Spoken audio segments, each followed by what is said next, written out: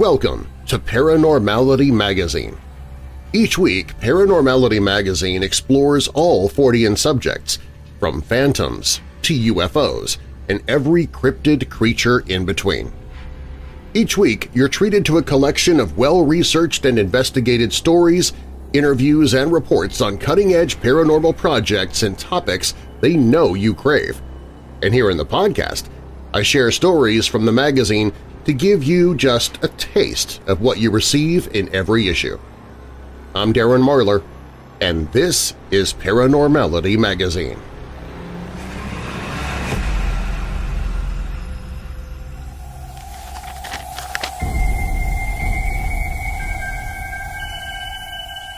Paranormality Magazine's Chaz CMP brings us an Arctic mystery. Rodney Marks was left out in the cold for nearly six months. He was not lost or abandoned, though. He was exactly where he was supposed to be. When someone dies in Antarctica, you leave them outside. All the human structures and buildings are heated, which would lead a corpse to decomposition, but leaving them out in the perpetual below-freezing climate will keep the corpse frozen and fresh for years. Marks had died on May 12th, and his body would be left in the snow until the Arctic winter subsided in late October. From there, the corpse was sent to Christchurch, New Zealand, where the United States and her allies conduct most of their off-the-ice Arctic operations. The body arrived at the coroner's office, the staff of which were expecting a normal day. The National Science Foundation, the body that hires people and manages most of the U.S.'s projects in Antarctica, had already declared that Marks had died of natural causes. The coroner was meant to conduct a routine inspection of the corpse to confirm this. But the opposite occurred. The Christchurch coroner almost immediately found something bizarre. He found that Mark's blood contained 150 milliliters of methanol, several times the lethal limit of the substance. He also noted what appeared to be needle marks on one of his arms. These were made especially suspicious because Mark's toxicology showed that no illegal drugs or other substances were found, except the lethal amount of methanol. The press quickly labeled it the first murder in Antarctica. While Marks was working for the Americans, he was actually Australian. He was born on March 13, 1968, to his parents Paul and Ray in Victoria. In many ways, he was a typical Aussie, he liked surfing, football, and rock and roll. But he was also extremely intelligent. For high school, he had attended a prestigious private school on a scholarship before going to the University of Melbourne, where he graduated with first-class honors while studying astronomy. Afterwards, he attended the University of New South Wales, where he earned his doctorate degree in physics. His thesis was focused on the South Pole and how it is a prime location for astrophysical observations. Marks was selected to be part of a research team put together by the University of Chicago to go to the pole. In late 1997, he was sent to spend nearly a year wintering at the southernmost research station in the world, Amundsen Scott Pole Station. The station is named after the two explorers who raced against each other to be the first person to reach the southern pole. Norwegian Ronald Amundsen was the first, followed by the Englishman Robert Scott's ill-fated attempt about a month later. During this first season, he was enthusiastic and enjoyed the difficult work. So much so that he was selected to return for the winter season of 2000, this time by the Smithsonian Astrophysical Observatory. He was enthusiastic both times and wrote this on one of his application forms. Quote, 100 years ago, the Antarctic was a mysterious, treacherous, and unforgiving land, the last frontier beyond the edge of the known world, it was a struggle for explorers just to survive. The story of the first expeditions to the geographical South Pole of Amundsen and Scott is one of the great dramas of modern times. This heroic age of exploration remains an inspiration to scientists working in Antarctica almost a century later." Unquote. The base itself sits around the pole itself, where there is only one sunrise and sunset each year. The summer months, in which the sun never sets, the base is occupied by around 200 people. In the perpetual darkness of winter, the size of the base shrinks to about 50. It's also during this time of constant darkness that astronomers of all kinds are sent to the area to do cutting-edge research, looking out a window into space that most people rarely see. This is why Marks was stationed here. Although I'm not nearly smart enough to explain what exactly he was doing, suffice to say it involved his field of astrophysics. All reports of Marks on the base stated that he was a friendly guy who socialized well with everyone. He worked well with his scientific colleagues and was said to drink, smoke, and play cards with the workmen in his off time. He even played in a makeshift band at the base. He was very well liked, and almost none of his colleagues knew he had been diagnosed with Tourette's, as he never showed outward signs. While playing in the base's band the year before, he met Sonia Walter. She was a maintenance specialist at the station, and the two quickly started a romantic relationship. She'd agreed to come back to the base in 2000 so that she could be with him during this time again. The two even dyed their hair crazy colors together before heading back, she went for green, he for purple. On May 11, 2000, he'd met up with Sonia at the galley for dinner after his shift at the observatory. Throughout his meal, Marks began to complain about not feeling well. His stomach and eyes were hurting. He decided it was best just to go to bed and try to sleep it off. He spent a restless night tossing and turning. At 5.30 the next morning, he started to vomit blood and went to the station's medical facility. The station's doctor was one Robert Thompson. He noted that when Marks arrived that he was nervous, anxious, and upset. Thompson assumed it to be a stress-based reaction and gave him an injection accordingly. The base's medical lab did have an old blood testing machine, but it wasn't working properly and would take hours to set up, so it wasn't used. If it had been, it might have been enough to save Mark's life. He would go back to the doctor's office twice more that day. He was experiencing pain all over his body, but specifically in his eyes. He was irritable, dizzy, and fatigued. Each time he returned to the doctor, it was clear that his condition was worsening. His blood pressure was also getting lower and lower. On his last visit, out of ideas as to what to do, the doctor gave him an antipsychotic injection. This seemed to work for a moment, but then his large pupils shrunk down he squeezed Sonia's hand, and his heart stopped. They would try to revive him over the next hour, but this failed. His body would stay in the snow, first on a sled, then a makeshift coffin, for the rest of the winter. At the time of his death, the National Science Foundation released a statement that there is nothing to suggest that Rodney's death was related to his work, to the environment at the South Pole, or to any toxic or infectious agent. This, of course, was an entirely premature statement, as a blood test had not been conducted. As we know, when his corpse arrived back in New Zealand, the opposite was found to be true. That's where the case was taken over by Detective Grant Wormald. Wormald had a challenge. The crime scene was already gone. Someone else was now living in Mark's room and working at his station.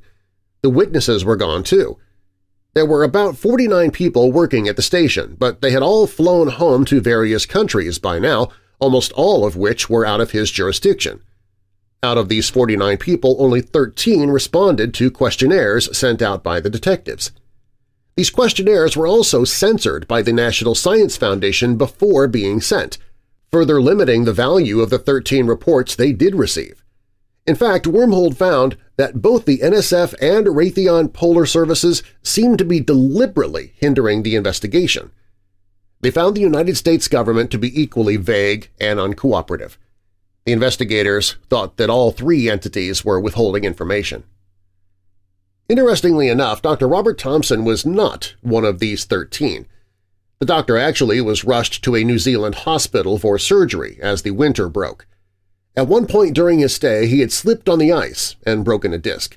But he did not stay in New Zealand long, almost immediately flying back to the United States without ever speaking to the detectives in the case. The next Arctic season, the doctor that replaced him had to be evacuated due to appendicitis. Because of this, Dr. Thompson was contacted by the press for comment, which he happily gave. Through one forum, held by CNN, he was asked, do people get sick there much? What kind of care can a single doctor provide? He responded, quote, First, I'd like to think I provided the best possible care that one doctor can provide. My specialty is family practice and emergency medicine, so I know a little bit about a lot of things. My background for the job was considered ideal by the contractor who hired me. Interestingly, once the base closed down for the winter and we were all used to each other's germs, no one got any infections. That's typical for wintering over at the South Pole. In the summer, when lots of people are coming and going, there are lots of mild infections, such as colds, and lots of altitude sickness because the South Pole is at elevation. The practice in the winter was not busy, but would be best described as an occupational medicine practice with lots of sprains and strains." Unquote. There are no direct mentions of the Marks case in any of his interviews. After that, Dr. Thompson has seemed to disappear, but more likely he's hiding in plain sight behind his particularly common name. While dubbed the first South Pole murder, nothing was found to confirm this conclusion.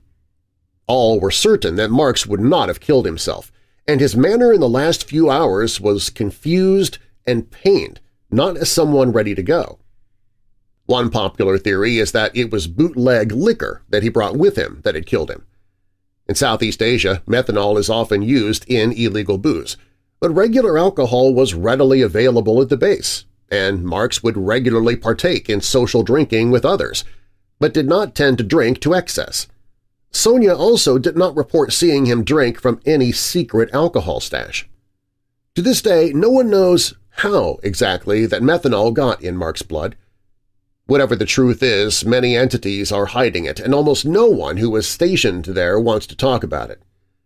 A mountain on the Arctic Plateau was named after Marks, and it will remain as a monument to another one of the mysteries that occurred on the ice. Aside from the death of Marks, one of the most bizarre mysteries to come from Antarctica is the strange story of Carl Disch. Carl was a scientist, an ionospheric physicist to be specific, working at Byrd Station, Antarctica 1965. On May 8, about halfway through the notoriously brutal six months of darkness that make up the winter season, Carl disappeared, never to be seen again. He'd been working at the station's radio noise building, presumably partaking in his research. At approximately 9.15 that morning, he left the radio building to return to the main base. It was actually quite far from where he was, about a 1.3 mile or 7,000 feet hike back to the main complex. There was a hard line put up leading from the building's door back to the main structures. The line was kept up with a post every few meters and was running downhill. Yet despite all of this clear and easy-to-follow trail marker, he never arrived at the main station. By 10 o'clock, a vehicle search party was assembled and set out. Around 11.30 they seemed to have found Carl's track. It was heading west by southwest away from the camp and about four miles out. Unfortunately, the team had to return to resupply, and by the time they returned to where the tracks had been, they'd been covered by fresh snow. As they searched for the next few hours, the wind increased, the temperatures decreased, and the weather worsened. The impending blizzard caused the team to return to the station by 6.15 that afternoon. At 7, a second group went to search along the supply line. Towards the end of the hour, they formed a human chain and searched from the line to the skiway, the area where the tracks had been found in the morning. Despite the thorough search, no signs or tracks were revealed. Floodlights were set up on the perimeter of the camp and flares were set off every half hour to try and increase the station's visibility, in hopes that Carl might find his way back. The next day, May 9th, another vehicle search team was sent out again, this time at around 6 in the afternoon. What this group found might be considered especially interesting. The report stated, the party found occasional tracks and followed them to about four miles south of the station where they disappeared. There was no noticeable shortening of strides in these tracks. The latter detail is quite bizarre because any person who had been left outside for more than 30 hours on an Arctic winter night would be at the very least near death. The team would undoubtedly be looking for tracks of someone crawling or dragging themselves through the snow, not of even-placed footprints. Several more search parties were sent out over the next few days, but no more tracks or signs of life were found. By May 12th, The weather worsened to the point there was zero visibility, and this lasted for two days. During this time, Carl was declared dead, as it's impossible for someone to live out on the ice without supplies for more than 48 hours. Many believe this number to be even smaller. To this day, his body has never been found. Some report that about one month after this point, Carl's dog wandered off the base. He too was never found. But, according to some, the pair have been seen and heard from a few times since. Interestingly enough, these two sightings come from the same location, McMurdo Station. This is bizarre because Carl went missing at Byrd Station, which is roughly 1,400 kilometers inland from here. Despite this, there have been two separate reports of a crazed-looking man showing up at one of the station's most popular bars, the Erebus Club. Renamed Gallagher's in the late 90s after a longtime quartermaster who died at the station, the club was more of a bar it had pool tables and a dance floor and a hamburger grill. There are few places to get a drink at the station, but this is the most popular for weekends. There is also a steady morning crowd who come in to drink after the long night shifts.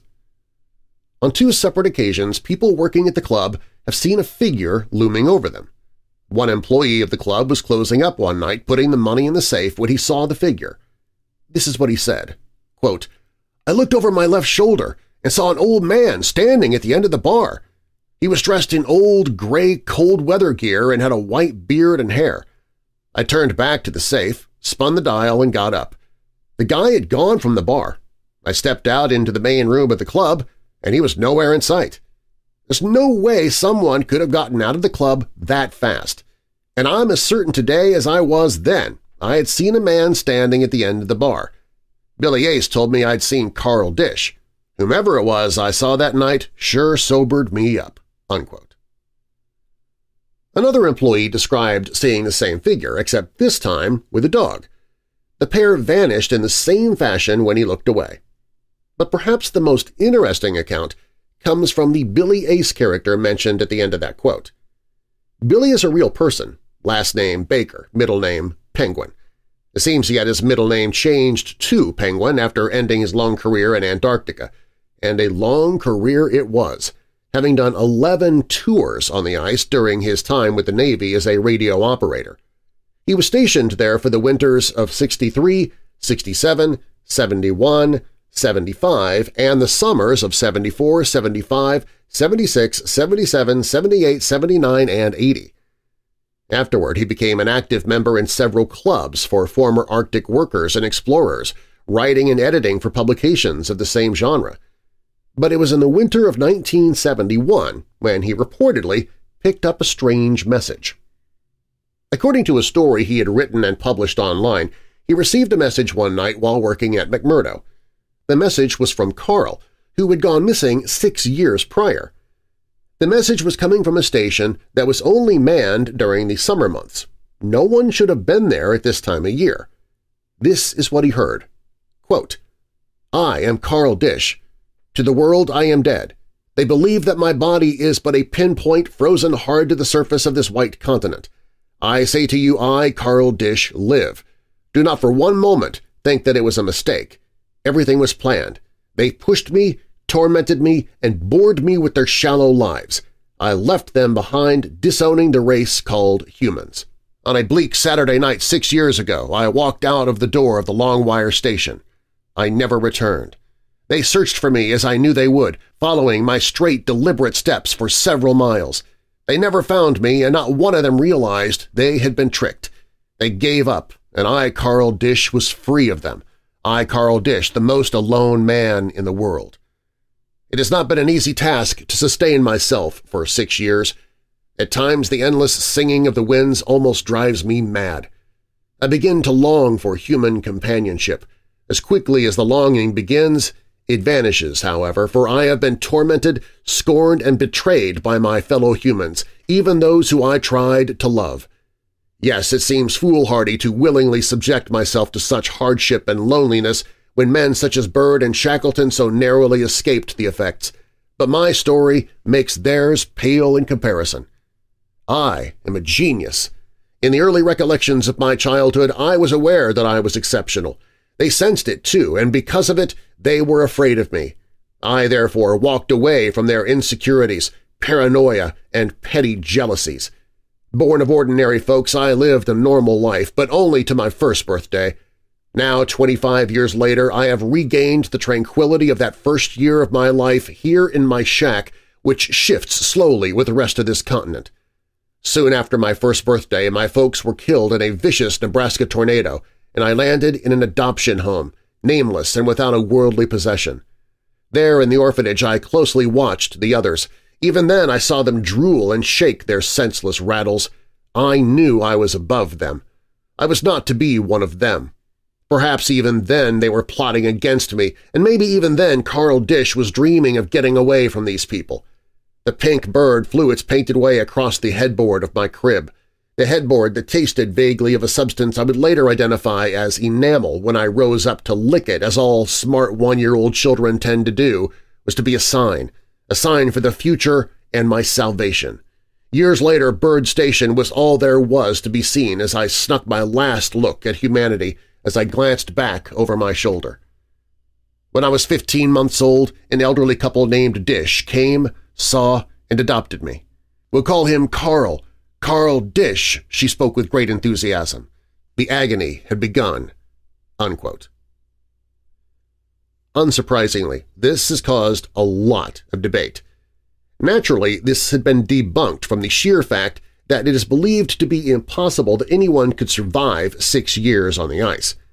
It also seems this comes from a story where Billy has woven together true fact and fiction. He speaks of real people who were there at the time, but also of others who were not. This has led people to completely dismiss the story. But Billy is still alive, as he had posted a picture of a penguin table on his Facebook page last month, so I reached out to him to see if there was any truth to this supposed message. It took a few weeks for me to hear from him. He actually responded via email to a post I put up looking for information about Disch on an Arctic Explorer's website. He asked for my full name and some other info before asking me what I already knew about Carl. I told him what I knew, what you just read, and asked if there was any legitimacy to the radio transmission. I didn't really get a straight answer. He said, a lot of it's fiction, fact, and fantasy from Baker's Almanac, but it is all based on stories that have been told and retold over and over and over again. But he followed this up with an eight-page document with the information that he collected over the years of stories about Disch. In it there were quite a few things of interest that could not be found readily available online. First was an alternative version of the radio story where instead of the lengthy radio transmission, the shorter transmission of CQ, CQ, DE, NBN, NBN, QSP, NGD, NGD, which translates to any station this is Brockton Station past McMurdo Station, was heard. This message would be received at stations around the ice, usually during the winter months when Brockton was closed. But Brockton is several hundred miles from Byrd where Carl went missing, and in this shorter version of the story, no names are given. Another interesting detail is a letter that was sent by Carl's brother, Walter Disch. The letter's tone is angry, and it refutes essentially everything said in the supposed radio message. He states that Carl was not an orphan and ends his letter by saying, Carl was not and is not the weirdo you all have been and continue to be. I asked Billy Ace about this, and he said that the letter was essentially a no-duh. When I asked about what he thought of Walter's anger towards the legend that has formed, he replied, his brother was upset, and I was worried for a long time, but later I let it go. It's been a long time, so I don't remember all the details. The last intriguing piece of information was two more reports that I couldn't find anywhere online. It was from a pilot who was running relief missions from Byrd Station. He wrote that he remembered people telling him how they would find Carl Disch was here scratched into doors in the camp after the season. And when leaving, the naval crew instructed him over the radio to padlock the doors to one of the huts. The pilot asked why, because this was a precaution not normally taken on the lonely continent. He said the entire crew responded in unison, exclaiming they needed it locked because of Carl. So it seems the legend has been exaggerated. The reported message is a fabrication, but mysterious messages do seem to be heard from time to time. People see ghostly figures on the continent, and it seems, despite his brother's request, the sightings have merged with the story of Carl. They become a legend, perhaps the continent's first urban legend, one that is still believed in by the people who've worked and lived on the ice. So next time you leave your Arctic station, remember to lock up, or old Carl might stop by and help himself to your supplies.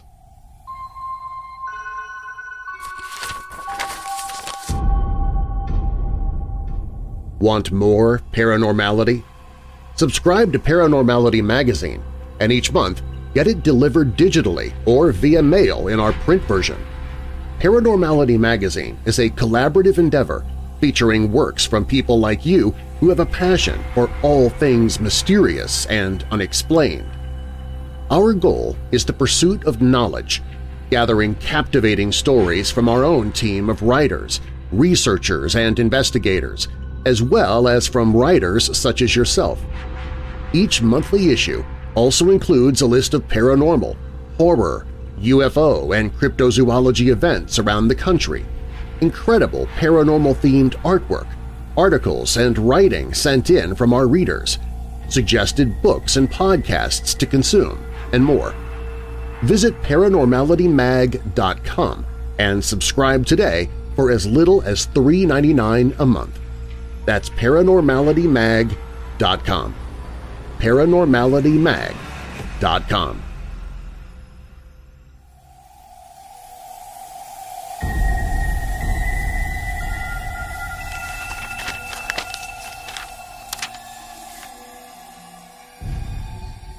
The late Dr. John E. Mack, Pulitzer Prize-winning author and Harvard professor of psychiatry, is noted to have said, there's a lot of weird science that turns out to be not so weird once it's proven.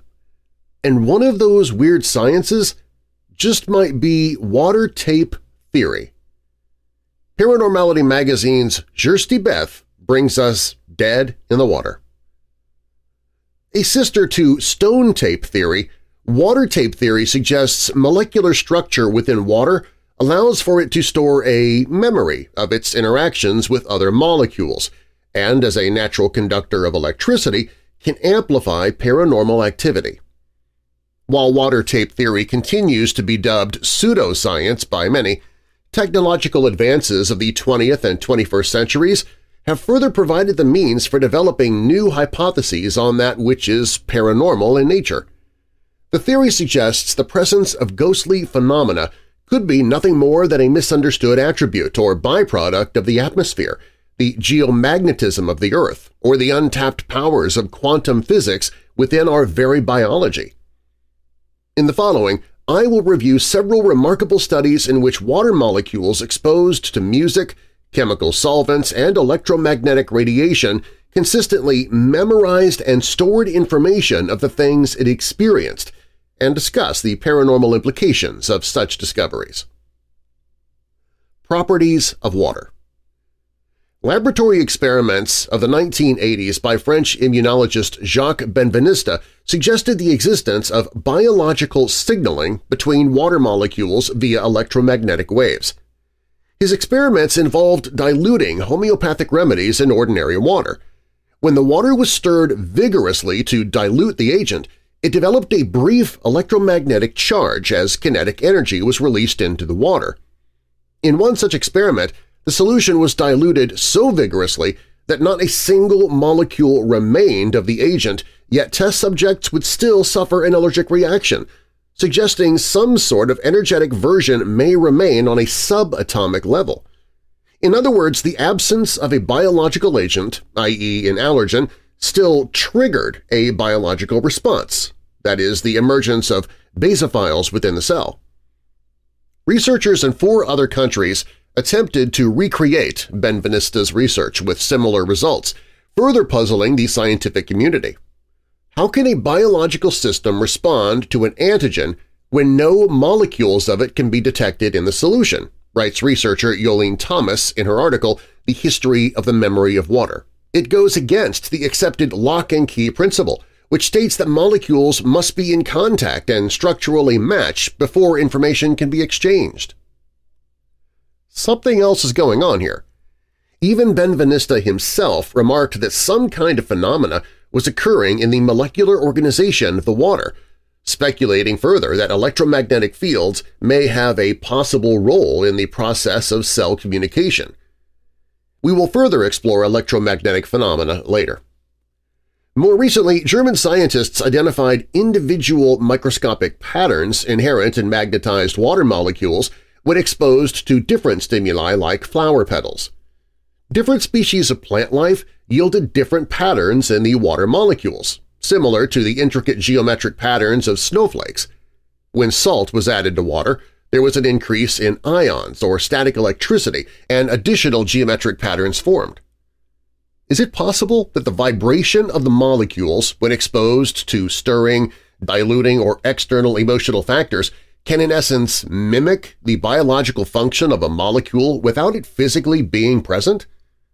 Does that electromagnetic charge work to implant the memory into the molecule?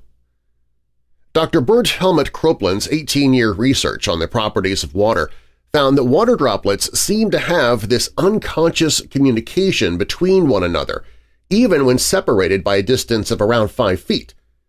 Water's structure changes and mirrors itself in other droplets within the same vicinity in the lab. Whether it was exposed to a mobile phone or X-radiation or even plants, stones, and music, water reacts to frequencies and other external influences and stores them, he said, so water has something like a memory. Furthermore, Kroplin speculated that water picks up and stores information from all the places that it has traveled through and its molecules talk to one another. Kroplin's website, World in a Drop, further suggests that water notes the external influences that have acted upon it and consistently creates new systematic structures which correspond to whatever agent was added to the water – flower petals, stones, pieces of food, even holy water.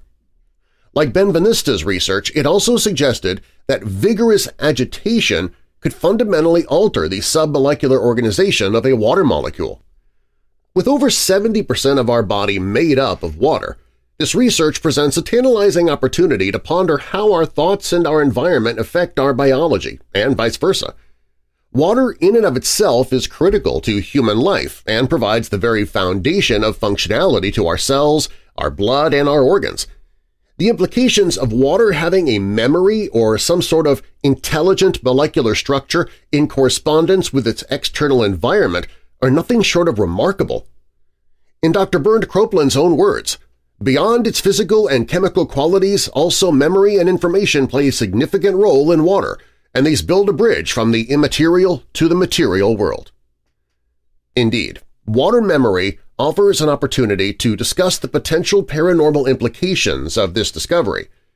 Could extreme emotional or heavily repetitive events imprint themselves on the natural environment and be released as the water evaporates? Could bodies of water act as storage powerhouses for this residual energy? We'll explore that next. Properties of Earth Several geological studies have shown that bodies of water contain higher levels of electromagnetic fields than the surrounding air and land, and these EMF spikes are often noted to be just before dawn or at dusk. At dawn, the Earth's magnetic field lines shrink and surge through the land, our homes, our bodies, and our brains each day, writes explorer and researcher Hugh Newman in his book Earth Grids. The field weakens at night, then roars back to life every morning.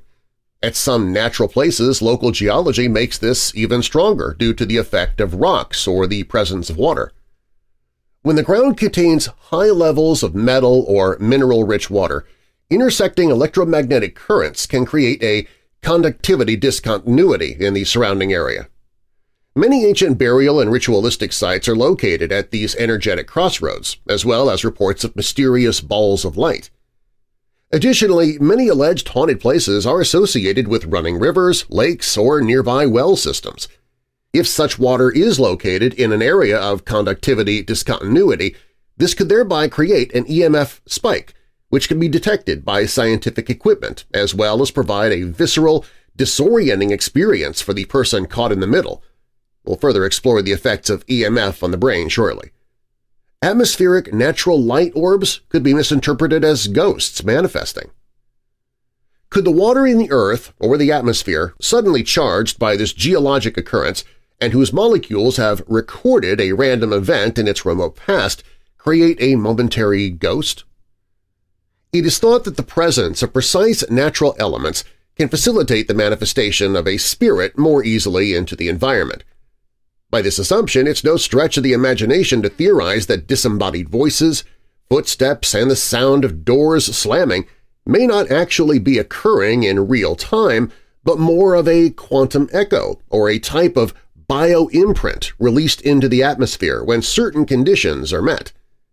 Water tape theory argues the presence of water in the environment is the mechanism behind that releasing of powerful electromagnetic energy. It's interesting to note that the human brain, when exposed directly to a weak field of electromagnetic radiation, has been shown to create a feeling, either the presence of God or a oneness with the universe in laboratory test subjects. The field of neurotheology explores the relationship between a spiritual experience and the brain's chemistry. Mystical thoughts and experiences may be part of our neurophysiology, writes author Daniel Pink in his 2006 best-selling book A Whole New Mind. This artificial creation of a creeping feeling of hauntedness via electromagnetic means is further explained in our stone tape theory article in a previous episode. With the presence of both water and stone, the environment would be twice as likely to be able to not only record the emotional, energetic occurrences of the environment, a miracle in and of itself, but expel an apparition in time. It's no wonder crossroads of these ancient natural energies are known for strange phenomena, balls of light, presences of elementals, and other paranormal phenomena. But is it that simple, relatively speaking, that ghosts are just the perfect storm of a geological electromagnetic echo formed by a combination of perfectly aligned energetic events? Or are ghosts merely a hallucination or cognitive byproduct of exposure to Earth's electromagnetic energies? Properties of the atmosphere Speaking of the perfect storm, thunderstorms also contribute to the presence of static electricity in the environment. Rain also adds some natural factors in the environment by adding moisture and humidity to the air, writes paranormal researcher Charise Williams in her book The Witch's Guide to Ghost Hunting. Elevated moisture, air pressure, and static electricity can all help in the manifestation of a paranormal experience.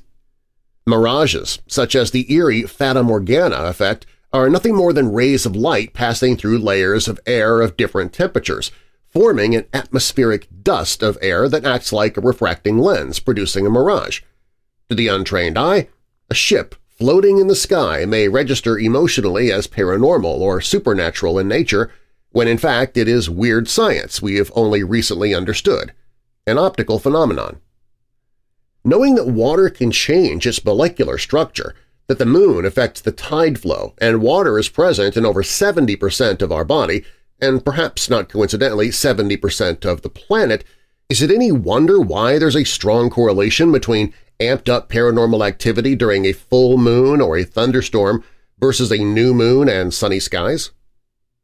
Perhaps paranormal investigators should consider measuring and documenting humidity levels present in purported haunted locations. As we've seen to this point, temperature, moon cycle, Barometric pressure and electromagnetic energy all have shown to have a positive correlation with paranormal activity.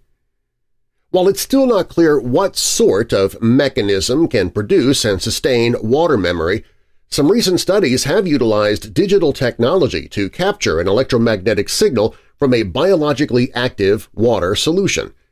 That, when played back into untreated water, facilitates a reaction as if the original substance was physically present, just like decades earlier research into homeopathic medicine. With the emerging field of digital biology comes the opportunity for additional insight and interpretation into the inner workings of our microscopic and atomic infrastructure. Someday we may begin to fully appreciate that what is considered paranormal is really just regular, beautiful nature at its finest.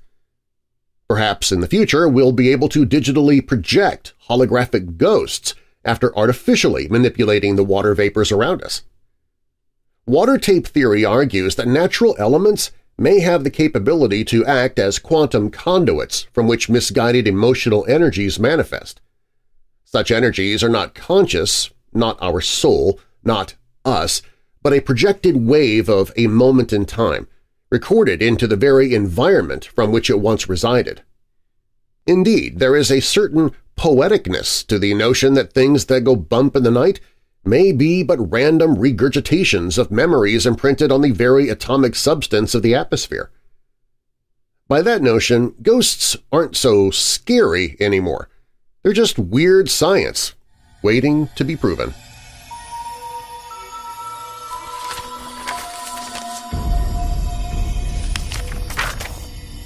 The Bell Mansion was built in 1893 for Robert and Clara Bell. Robert was a state senator and actually invested in natural gas, which led the way for Fort Wayne, Indiana to have natural gas. The home was constructed at a cost of $50,000, which equates to $1.8 million today. Imagine building this grand mansion with over 15,000 square feet. The home was sold after Mr. Bell's death to the Noble family in 1904. The Noble family owned a lumber company that operated in three states. The Noble family actually lived in the home longer than the Bell family and Clara Bell actually sold the home for a loss to the Noble family.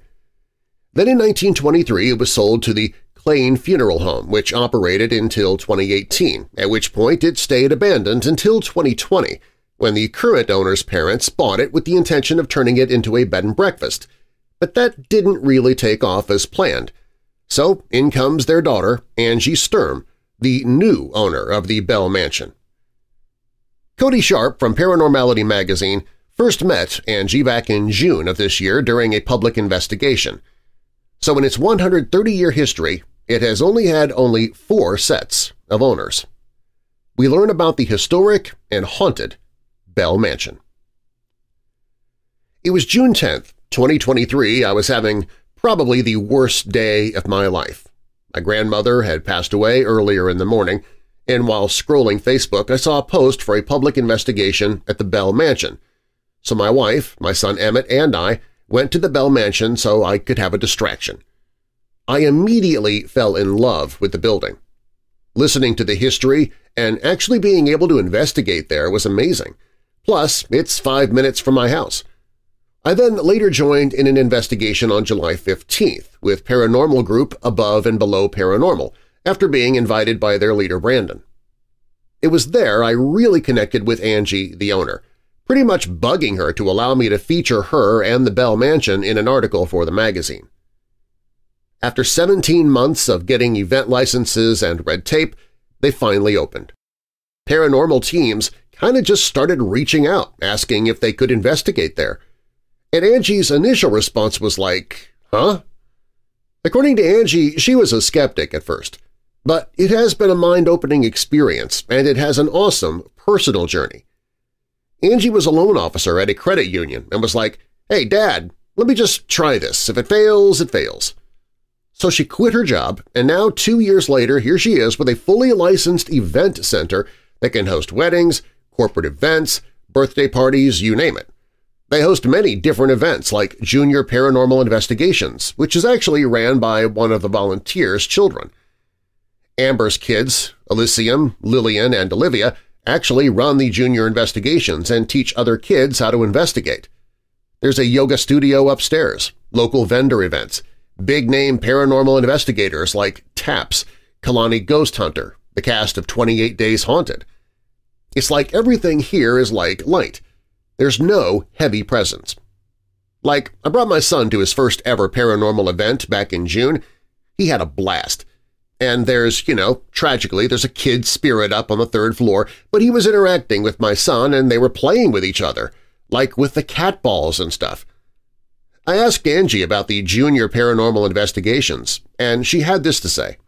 That's why we just, again, it's a safe place where anybody, newbies, seasoned vets, anybody can participate and learn. And yes, Kids' Days, we hold them at least once a month. Sometimes the date changes, We try to do the last Sunday of every month, but again, with up teen million other events, you never know what's going to happen. But yeah, it really is a safe, good, positive vibe that is just, you know, they're here, but nothing feels malicious or dark or, you know what I mean? Like how you said other places. Absolutely. There's places I wouldn't want kids around there. Angie went on to talk about how it is ran by all volunteers. Angie is currently 14 volunteers that have just come and never left. Many of the volunteers have said, the bell just saved me. The bell has saved a lot of people and has brought a lot of positivity. Angie always brings up this young woman that is 20, 21 years old. She can see spirits. She has the ability to talk to the spirits, but her support system was very anti that, and you think you're crazy, and that develops a whole other stigma. She came here, and now she's just almost, I don't know what you want to call it, like coming out of the closet, and now she's such a happier person. And I'm like, that's what it's about. When I mentioned getting the community involved, Angie brought up how there was initially pushback from the community. Oh my god, it's amazing. So like for instance, at first there was some pushback. I'm not going to lie to you because this was a funeral home for over 90 years. So we're in downtown Fort Wayne, which I'm very proud of downtown, by the way, like I'm born and raised here, which I'm very proud of what we've done and accomplished. But it's still some of your more conservative minds saying, hey, you're mocking or disrespecting my family that had their services here. You know, I've had that few of those conversations and I'm like, not at all. I was like, we're trying to talk to them if they're still here, you know, help them and and really honor them, and then also honor like honor history. So once I explained to them our intent is to save this building, you know, whether you believe in the paranormal or not, big picture of things, again, it's keeping the doors open. The building has had several notable people come through its doors. Mr. Bell was a very prominent Indiana Democrat, and he was close friends with the Democrat nominee for president William Jennings Bryan, who visited the Bell Mansion on numerous occasions and once gave a speech from the porch talking about the silver standard. Another famous, or rather infamous, person was John Dillinger's right-hand man, Homer Van Meter. He was actually from Fort Wayne, and when he died, his funeral was actually held at the funeral home. Angie told me that she had spoke with the old funeral home owners and found out they had done a makeshift service and then hid his body on the third floor and then snuck it out at 2.30 in the morning to go bury him in the Lindenwood Cemetery. My experiences at the Bell Mansion are always a good time. I've had quite a bit of activity throughout the house. I've done both private and public investigations, which are both absolutely fun. The two most active areas of the mansion are the third floor and also the basement. While the second floor does have activity, especially in the embalming room, I feel you get more responses in the other two areas – my goal at some point is to actually sleep at the Bell Mansion and have cameras set up watching me sleep, maybe even do a live stream. I wonder if I could get Angie to allow me to sleep in the coffin that's in the embalming room. My recommendation, whether you are a new investigator, a seasoned investigator, someone that's looking for a beautiful yet spooky location to host your wedding, birthday party, graduation party, corporate event, fundraiser, or whatever your heart desires, the Bell Mansion is definitely the place to do that. They have so many upcoming events. Now, while I write this at the end of September, they have masquerade balls that are happening in October.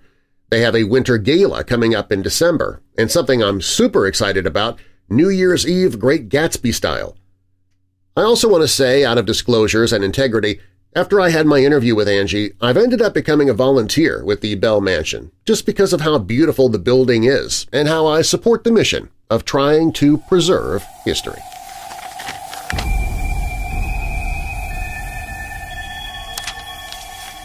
If you were a young adult or older in the 80s and 90s, you might remember the Satanic Panic.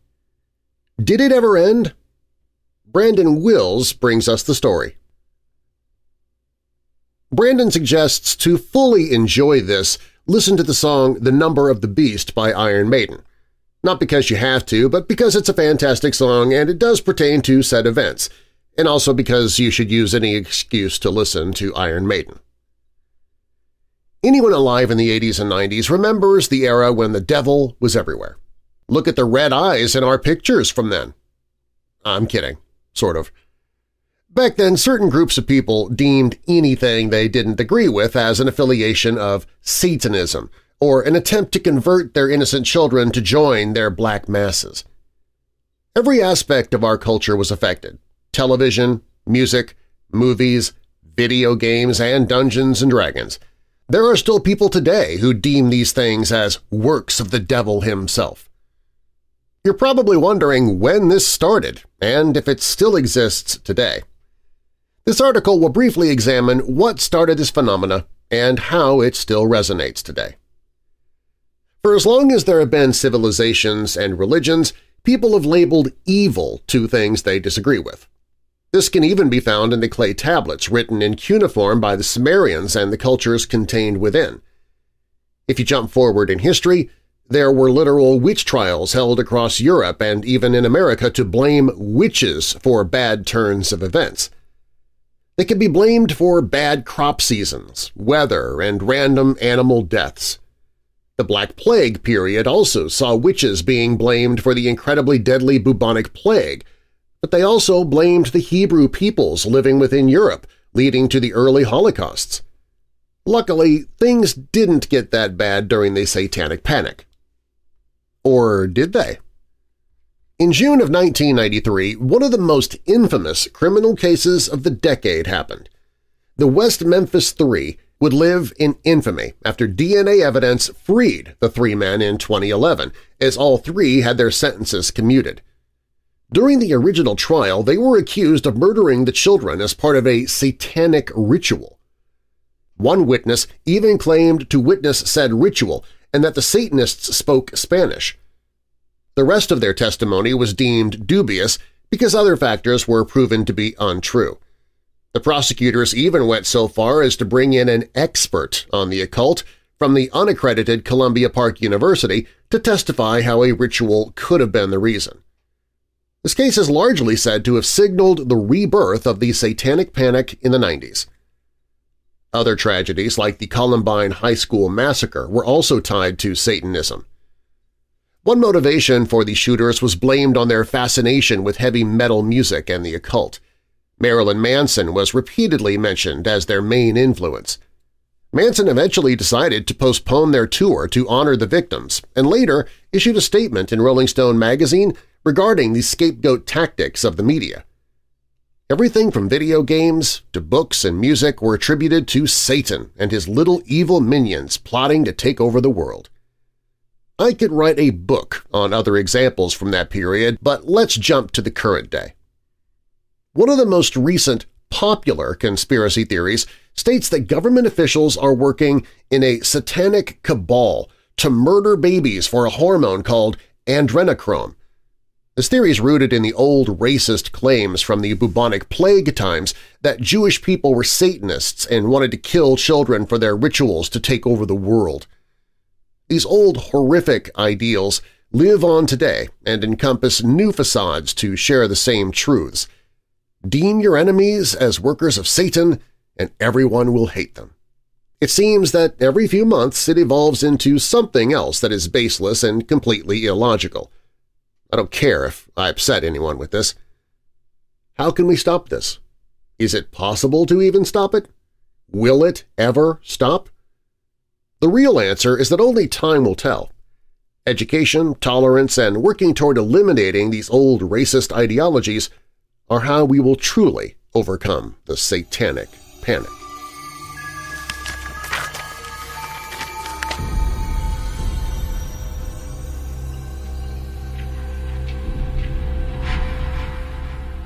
Thanks for listening to Paranormality Magazine. Get more information about the magazine and subscribe to our monthly publication at paranormalitymag.com. That's paranormalitymag.com or click the link in the show description. And if you're a researcher or investigator, send us your stories. We might feature you in our next issue. If you have a paranormal podcast, you can add it to our website so our readers can find your show and artists. If you'd like your work to be featured in our magazine or on our back cover, contact us. Again, our website is paranormalitymag.com. I'm Darren Marlar, and I'll have more paranormal for you next time from Paranormality Magazine.